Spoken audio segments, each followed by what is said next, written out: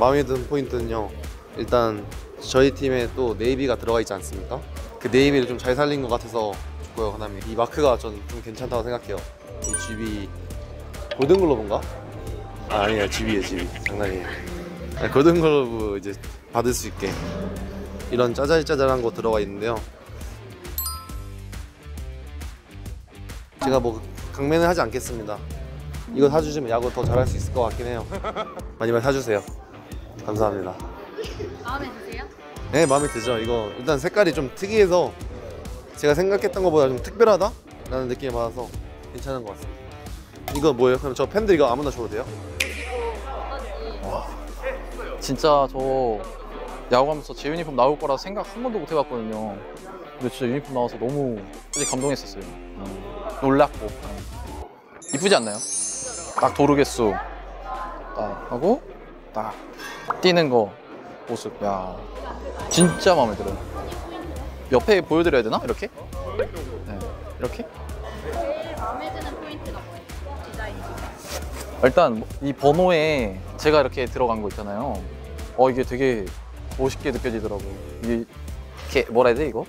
네 이렇게 딱돼 있잖아요. 어 뭔가 유니폼에서도 뭔가 빠르게 느껴지는 또 이제 앞에는 별명이 또 있잖아요.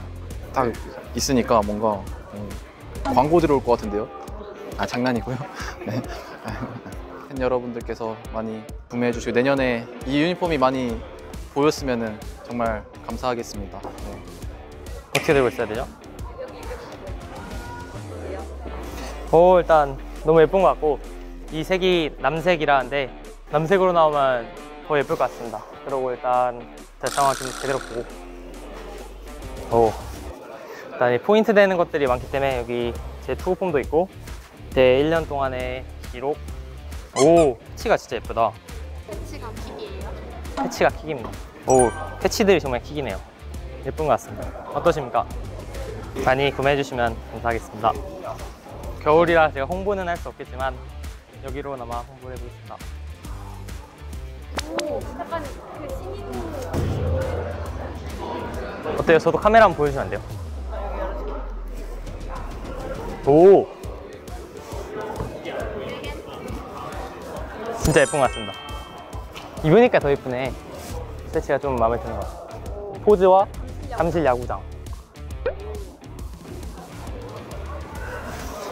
이 패치도 마음에 들고 뒤에 제 투콤도 많이. 감사합니다